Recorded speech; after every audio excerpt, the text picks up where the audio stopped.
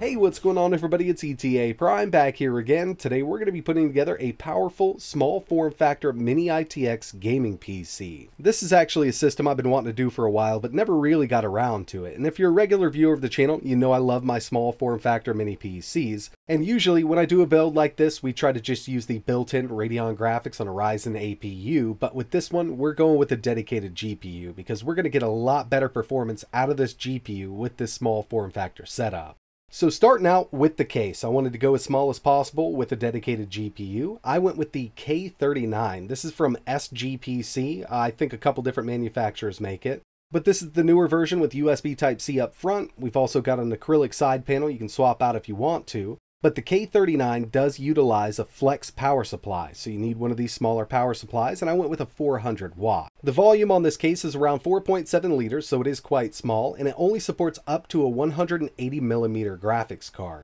And with it being so small, they do include two different handles you can add to this. Personally, I'm going to be using this orange handle on the top, and since it's such a small form factor case, it does make a really great portable desktop, especially with a handle attached. I think it looks really good like this. When it comes to the parts used in this build, I will leave links in the description, but for the motherboard, I went with the ROG Strix B550i Gaming. The CPU is a Ryzen 5700G, 8 cores, 16 threads, with a boost clock up to 4.6 GHz. We've got 16 gigabytes of DDR4 running at 3600 megahertz, and this is the Corsair RGB, so it should look pretty decent in the case. I needed a cooler that was under 55 millimeters, so I went with the Thermalright X47. This is the copper version. And for the GPU we're going to be using here, this is a GTX 1660 non-TI variant. We've got 6 gigabytes of VRAM, and I picked this up on Craigslist about a year ago for a really good deal. It should fit really nicely inside of the K39 case and offer some really good 1080p performance. And when it comes to storage, I went with a 1TB Crucial NVMe SSD. I've already got it installed in the motherboard slot, so we're good to go there. This isn't going to be a build tutorial, but I will go over a few things with this case. First thing I want to do is go ahead and get my CPU cooler and RAM installed on the motherboard itself. And when it's all said and done, it looks something like this. And with the 5700G and a nice little overclock on the GPU, it does a pretty good job by itself. But we want to add more to this, and we will have room in the case.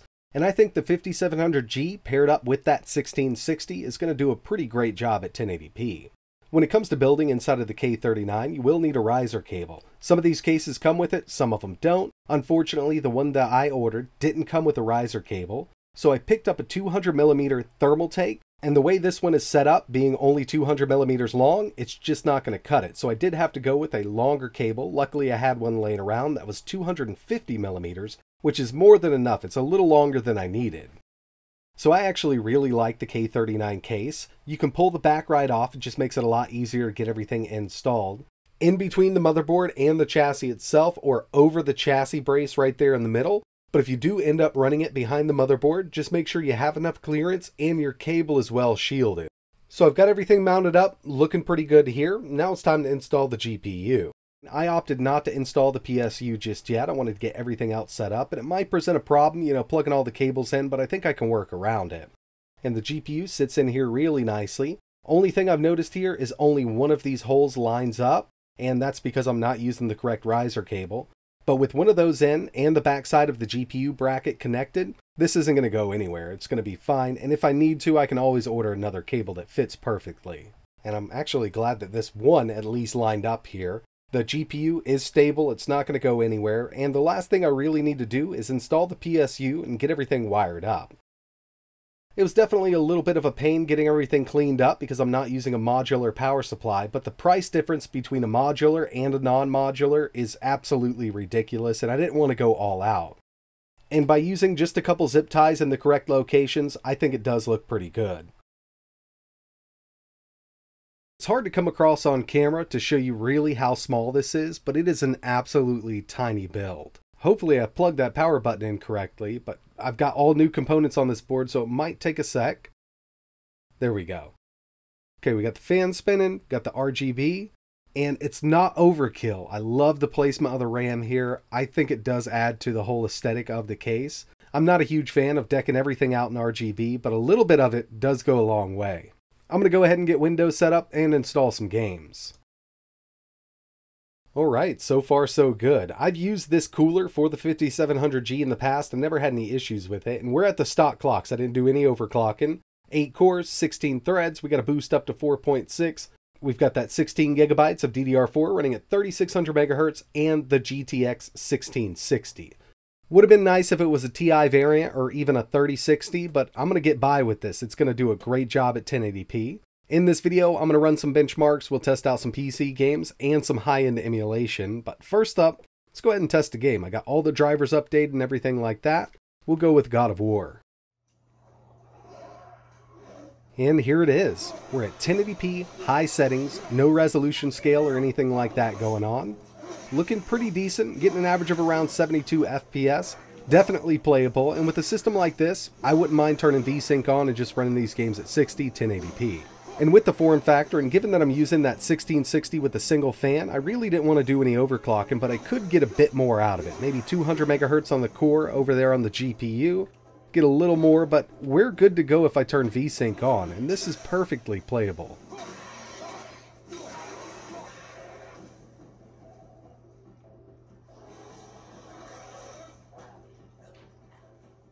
I did want to take a look at a couple benchmarks, and first up we have Geekbench 5, single core 1451, multi 8345. And given that this is a Zen 3 CPU, I figured we'd get some good scores here with Geekbench. But now it's time to move over to some GPU benchmarks with 3D Mark Firestrike. We got a total score here of 12,511, and the final one I ran here was Time Spy, coming in with a really nice score of 5,596. Not bad at all for the size of this build, but these are synthetic benchmarks and I really want to see how it performs with more games.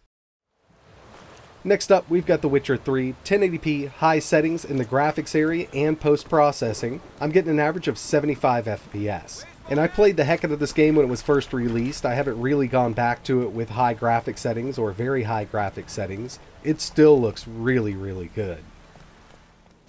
Moving over to Elden Ring, we're at 1080p high settings, and I do get a few dips here and there, but uh, I'm going to kind of chalk that up to the game itself. I think we have more than enough GPU and CPU power to run this game at a constant 60, and with some more updates, we should definitely be good to go.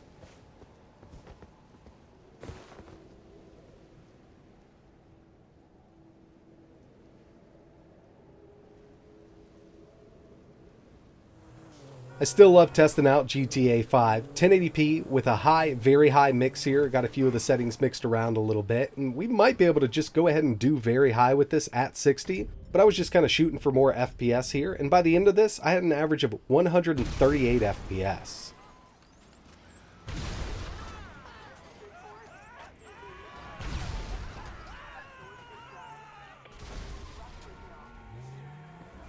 Next on the list, we have Cyberpunk 2077, and with the new patches for Cyberpunk 2077, we're getting a lot better performance on lower end hardware.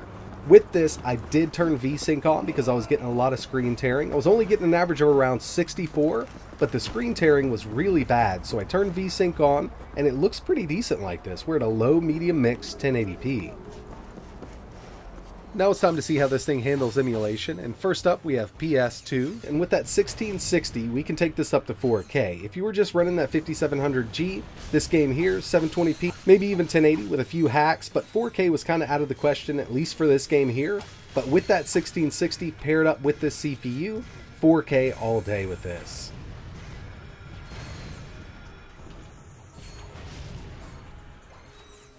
Here we have Citra, the 3DS emulator, and this relies heavily on OpenGL. With built-in Radeon graphics, I've never had really good luck with this, at least with upscaling.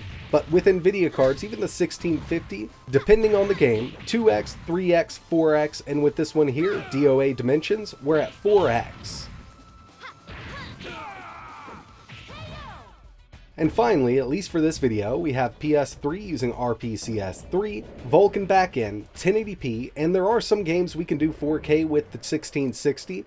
This one was a little out of the question, I was getting some stuttering at 4K, but uh, at 1080p it still looks great, running at 60, and we're only pulling around 60 watts from that 5700G.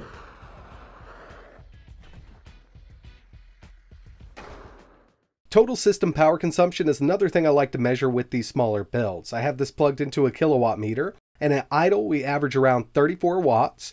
While gaming, it does jump up to 202 watts, and the maximum I could get this to pull from the wall while maxing out the CPU and the GPU was 238 watts. So yeah, for a small form factor build, I think this does a really great job. Of course, if you can get a card that'll fit in this case, you can go a lot higher in with it if you want to. But with the build I have here, using the 5700G and the 1660, I'm more than happy with the performance. And this thing will actually fit in a backpack. You could go ahead and carry this around basically anywhere you want. And remember, you always got that handle too. But yeah, I think this build turned out great, and I absolutely love this case. The K39 is an awesome little case. Does take a little more to build it, but in the end, it's definitely worth it. And they do sell these in a few different colors. I've seen red, black, blue, silver, and white. Obviously, we opted for the white version here. That was basically the only one I could get in time. And I could definitely recommend this case if you're looking to build a mini ITX rig. So if you're interested, I'm going to leave links in the description for everything I used in this build. But uh, that's going to wrap it up for this one. Really appreciate you watching. If you want to see anything else running on this, or if you have any questions, let me know in the comments below. But like always, thanks for watching.